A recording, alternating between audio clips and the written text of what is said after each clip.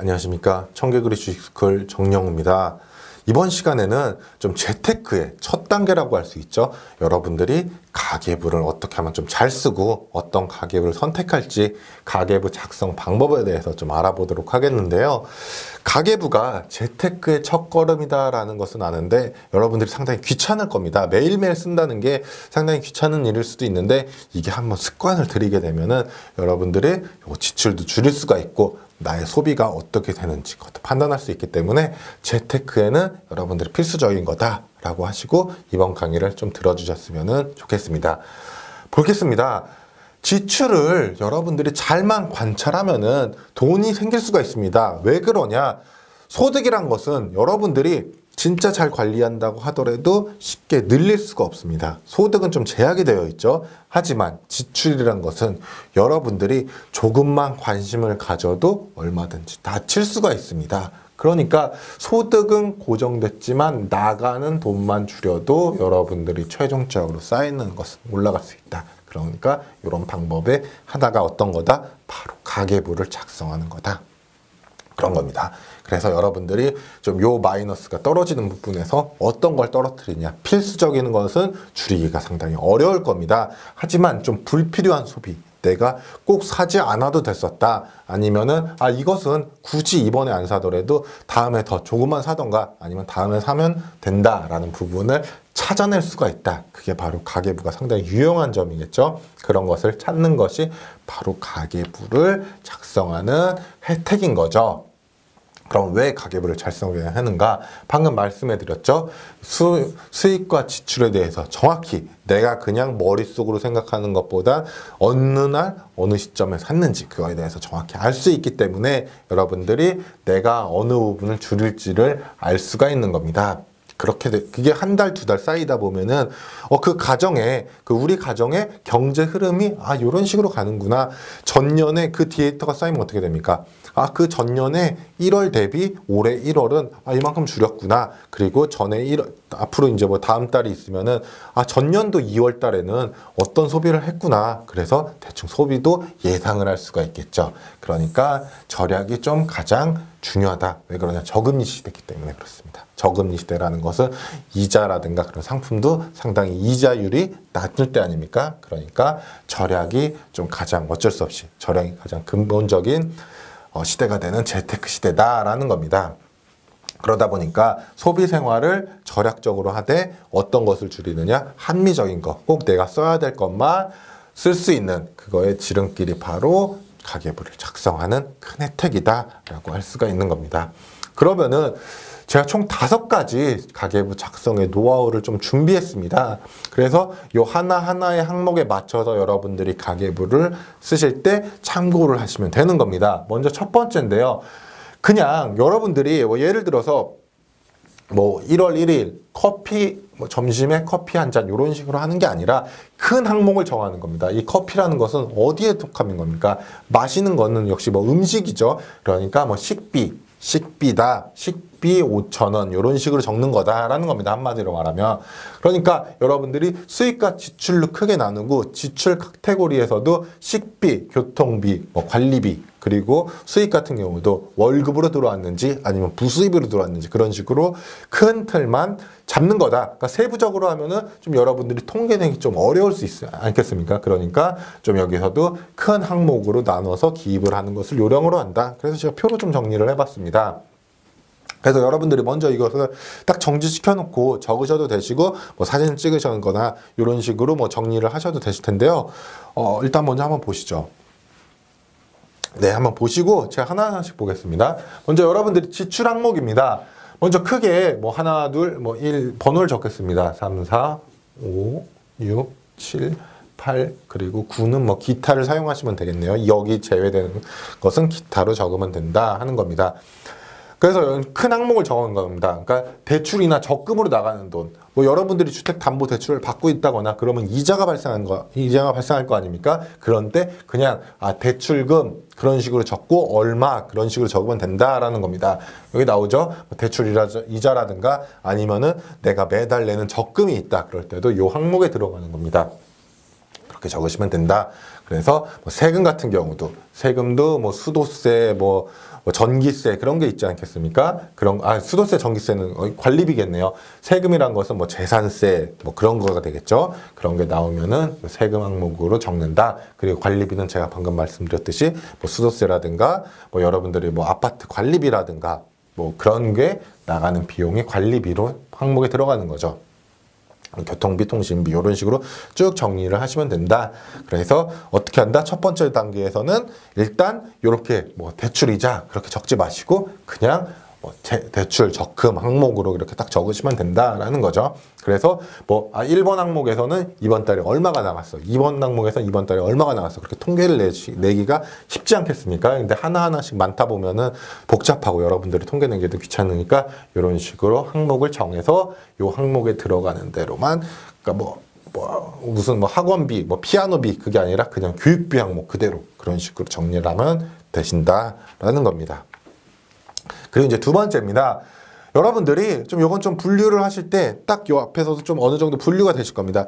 내가 매달 나가는 건지 꼭 나가야 되는 건지 아니면은 그날 그날 그달 그달에 따라서 좀 변동이 가능한지 한마디로 말하면 그 지출이 요 항목 중에서 그 항목 중에서 고정적으로 나가야 되는 돈인지 그러니까 어쩔 수 없이 매번 나가야 되는 돈인지 예를 들자면 대출 대출금은 매달 나가죠. 그리고 세금도 매 분기라든가 그렇게 나가게 되는 거죠. 관리비도 기본 관리비가 있지 않겠습니까? 그렇게 고정되는 지출이 있는지 아니면은 식비라든가 통신비 같은 것도 얼마든지 바뀔 수가 있겠죠. 내가 전화를 많이 쓰면은 돈이 많이 나가겠죠. 그런 식으로 유동 지출이 있는지를 먼저 계획을 세우는 겁니다 그쵸? 그 데이터가 있겠죠. 다음 달에 내가 고정 지출은 아 요게 나올 것이다. 어느 정도 고정 지출은 정해지겠죠. 그리고 유동 지출 같은 경우도 어느 정도 나오지만 이것은 확정되는 게 아닌 겁니다. 그래서 요 부분을 여러분들이 관리를 잘 하는 거다라는 겁니다. 그래서 이제 계획을 먼저 세우는 겁니다. 그러니까 과거 데이터도 있는데 아 내가 이번 달에 지난 달에는 유동 지출이 이 정도 나왔는데 꼼꼼히 살펴보니까 아 굳이 여기서 미용비, 의복비 같은 경우는 안 사도 될거 샀구나. 그러면은 다음 달 계획을 세울 때 여기에 대해서 좀 배분을 할 때 아 이번 달에는 요 정도 배분만 해도 되지 않을까라고 이렇게 정하는 겁니다. 하지만 고정 지출은 어떤 거다? 예상할 수 있기 때문에 아, 예정되어 있기 때문에 꼭 그 돈이 나가는 겁니다. 그래서 여러분들이 절약을 하실 때는 이쪽에서 내가 불필요한 소비가 발생할 수 있는 것에 거기다 체크를 해두시고 미리 사전에 정한다. 그게 두 번째 노하우가 되는 겁니다. 그리고 세 번째는 큰 지출. 그러니까 이건 꼭 정기적이지가 않지만 꼭 나가야 되는 돈 그런 돈 있지 않겠습니까? 그것은 따로 관리를 하는 겁니다. 왜 그러냐? 그것을 관리를 안 하고 그냥 나가면은 이런 데서 지출을 할 때 합리적이지 못한 소비가 발생합니다. 즉 효율적이 비효율적이 발생하겠죠. 예상하지 못하고 있다가 큰 돈이 나가는 돈. 그게 어떤 거냐? 예를 들자면은 뭐 가족의 생일 미리 정해져 있죠. 만약에 뭐 가족의 생일이 5월이다 그러면은 아 5월에 생활 뭐 저 그 생일 선물로 한 번 10만 원 정도가 나갈 것 같다라고 미리 계획을 짜는 겁니다. 경조사라든가 예정되어 있는 경조사라든가 아니면 뭐 명절날 선물 같은 거 발생할 수 있겠죠. 그리고 여름에 휴가비 같은 경우도 미리 계획을 짜놓는 겁니다. 그래서 따로 그 돈은 관리를 해서 이렇게 요 앞쪽에 영향을 받지 않도록 즉 여기서 계획을 세울 때 영향을 받지 않도록 하는 것이 하나의 노하우다라는 거죠. 그렇죠? 그리고 경조사 같은 경우는 다 파악을 할 수 할 수 없겠지만 전년도라든가 아니면 대충 아, 내년도에는 어느 정도가 될 수 있을까 그 정도에 대해서 평균치가 나오기 때문에 그에 대해서는 따로 관리를 한다라는 겁니다. 그리고 네 번째, 이건 많이 들어보셨을 겁니다. 신용카드보다 체크카드를 써라라는 말이 상당히 많습니다. 근데 가계부를 쓸 때도 이게 같은 어, 효과입니다. 근데 왜 그러냐, 가계부를 쓸 때는 신용카드 같은 경우는 만약에 뭐 1월 달에 신용카드를 썼습니다. 그럼 그달 바로 긁자마자 돈이 잔고에서 빠져나가는 건 아니지 않습니까? 언제 빠져나가니까.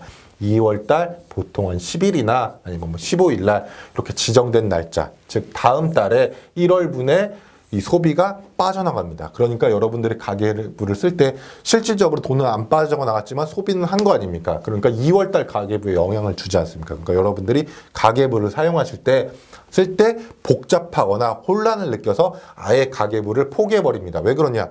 자신의 지출과 돈이 빠져나가는 게 틀려져 버리기 때문에 그런 거죠. 그러니까 여러분들이 체크카드를 쓰시게 되면 여러분의 은행 잔고에서 그 소비를 하자마자 바로 빠져나가지 않습니까? 그러니까 여러분 들이 가계부를 쓸 때는 체크카드를 쓰는 게 훨씬 더 편리하고 그리고 합리적인 소비에 도움이 된다. 신용카드 같은 경우는 긁자마자 돈이 안 빠져나가기 때문에 아 내가 공짜로 얻는다라는 생각이 좀 들 수가 있습니다. 그러니까 좀 어, 비효율적인 소비를 할 가능성이 좀 높아지겠죠. 하지만 체크카드는 바로바로 잔고에서 빠져나가기 때문에 어, 진짜로 내 돈이 빠져나가는 것 같아서 좀 합리적인 소비를 할 수 있기 때문에 체크카드를 쓰는 게 여러분들이 가계부를 작성할 때 작성하기도 편하고 소비도 좀 절약할 수가 있는 방법이다라는 겁니다. 그리고 이제 마지막입니다. 마지막 다섯 번째는 어, 부부끼리 가계부를 공유하는 겁니다. 같이 쓰는 거죠. 뭐 남편이 소비하는 부분도 있을 거고, 뭐 아내가 소비하는 부분이 있는데, 가계부를 뭐 누가 썼든지 그거에 대해서 서로 공유하고, 그리고 이왕이면은 어, 한 달에 한 번 정도는 지난 한 달 동안의 소비가 어땠는지, 어떤, 막, 제가 번호를 나누지 않습니까? 1번 항목에서 소비가 많았다. 그러면은, 아, 여기서 좀 불필요한 부분이 있었다라고 서로 의논을 하는 그 부분도 있을 수가 있습니다. 그러니까 반드시 경제 공동체인 부부끼리는 가계부도 같이 공유를 하는 것이 가장 중요하다. 그렇게 하면은 둘 부부가 아 이 부분에서는 아, 내가 좀 줄일 수 있었고 아, 뭐 앞으로는 좀 줄여나갈 부분이다라고 상의가 되겠죠. 그러니까 앞으로 계획을 잘 세울 수가 있다라는 큰 장점이 있으니까 반드시 이렇게 경제 공동체끼리는 뭐 가계부도 공유하고 뭐 같이 쓰는 것도 좋습니다. 그런 식으로 하시는 게 좋을 겁니다. 그래서 이제 여기까지 해서 그 노하우 다섯 가지에 대해서 설명을 해드렸고, 어, 이제 여러분들이 가계부를 고르려고 할 때 어디다 써야 될지 좀 막막할 수가 있습니다. 뭐 그, 그냥 뭐 노트에다 쓰기에도 불편하시고, 그러니까 제가 조금 가계부의 종류, 어떤 것을 고르는 거에 대한, 고르는 게 좋은지 한번 설명을 해드리도록 하겠는데요. 먼저 종이 가계부입니다.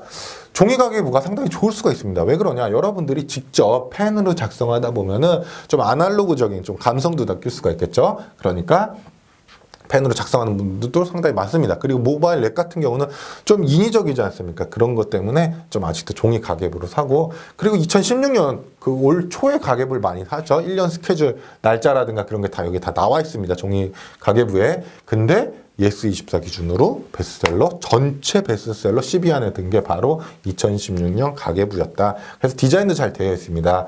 그러니까 여러분들이 아 여러분들이 아니라 쓰시는 분들이 좀 다이어리처럼 다이어리로 확인해도 됐습니다. 여기에 메모 칸도 분명히 많거든요. 그래서 오늘 뭐 있었던 일도 간단히 적을 수가 있고 그리고 뭐 그냥 가게의 뭐 경제 상태도 정리할 수 있기 때문에 뭐 상당히 다이어리처럼 쓰면서 뭐 나중에 돌이켜봐도 상당히 좋고 그런 식으로 이용도 가능하다. 하는 겁니다. 그래서 종이 가계부도 상당히 괜찮고 제가 추천해드리는 방법이기도 합니다. 그 대신 요즘에 스마트폰을 이용해서도 이 스마트폰을 이용하면 어떤 점이 좋으냐? 물론 편리하죠. 가계부 쓸 때. 근데 가장 좋은 게 여기 나온 것처럼 그냥 통계. 그러니까 통계라고 나옵니다. 그래서 통계하는 기능이 있거든요. 그 통계를 누르면은 여러분들이 직접 도하고 빼고 계산기를 두들기지 않아도 그러니까 종이 가계부 같은 경우는 여러분들 직접 계산을 해야 되지 않습니까? 근데 액 가계부 같은 경우는 그래프를 통해서 아 이번 달에 지출이 어떻게 됐는지 어느 항목에 썼는지 그거에 대해서 좀 일목요연하게 보여줄 수 있는 이런 장점이 있겠죠. 그리고 좀 편리하다라는 장점이 있죠. 핸드폰을 항상 갖고 다니니까 그래서 요즘에도 상당히 많이 다운받고 있습니다. 그리고 다 무료가 많기 때문에 어, 제가 뭐 소개를 해드리자면은 네이버 가계부라든가 아니면 똑똑한 가계부가 좀 인기가 많다라고 해서 여러분들이 뭐 무료로 다운받으실 수가 있습니다. 그리고 마지막으로는 엑셀 가계부가 있습니다. 엑셀 값을 그냥 이용하는 건데요. 여기 위에 나온 것처럼 액가계부 같은 경우는 여기 고정된 틀에 따라서 여러분들이 입력을 해야 되기 때문에 아, 난 이 항목이 좀 필요하거나 이 항목은 필요 없어 하는 부분이 있을 텐데 엑셀 가부예부 같은 경우는 여러분들이 이 칸을 더 늘리거나 아니면 줄일 수가 있습니다. 그리고 마찬가지로 보다 자세한 그래프를 여러분들이 원하는 것으로 할 수가 있습니다. 그리고 엑셀 가계부 같은 경우는 상당히 양식이 많습니다. 여러분들이 인터넷에 검색창에다 엑셀 가계부만 검색하더라도 여러 가지 엑셀을 올려놓은 게 있습니다. 그래서 그 중에서 여러분들이 맞는 것을 다운 받으셔서 작성을 하시고 아니면 나는 아 요 항목이 더 필요할 것 같아. 그러면은 뭐 시트를 하나 더 늘려서 뭐 시트로 이렇게 좀 만들어도 좋은 방법이 있, 있을 겁니다. 그래서 엑셀 가계부를 이용하셔서 어, 좀 나는 좀 전문적으로 가계부를 쓰고 싶어 하시는 분들은 엑셀 가계부를 이용하는 게 좀 더 유용한 방법이 되겠죠. 네, 그렇게 해서 이번 시간에는 좀 가계부를 여러분들이 좀 작성하는 좀 노하우하고 가계부를 고르는 방법에 대해서 좀 알아봤는데요. 가계부가 제가 처음에도 말씀드렸듯이 상당히 재테크할 때 필수적입니다. 첫 단계이기도 하지만 필수적이다. 왜 그러냐? 바로 그 가게의 경제가 어떻게 됐고 그리고 아 내가 작년도 소비는 어떻게 하고 있었는지 궁금하면은 어떡합니까 신용카드 조회 내역을 확인하는 것도 방법이 되지만 중구난방으로 확인될 겁니다 하지만 일목요연하게 작성했던 가계부가 있다 그러면은 그 데이터를 보고서 아 난 작년에 이렇게 썼구나 이렇게 많이 절약을 했는데 이번엔 좀 많이 늘리는 것 같다라고 자신을 좀 돌아볼 수 있는 계기가 될 수가 있다라는 겁니다. 네, 이렇게 해서 이번 시간에 가계부 작성하는 방법에 대해서 강의를 마치도록 하겠습니다. 대단히 고생 많으셨습니다. 감사합니다.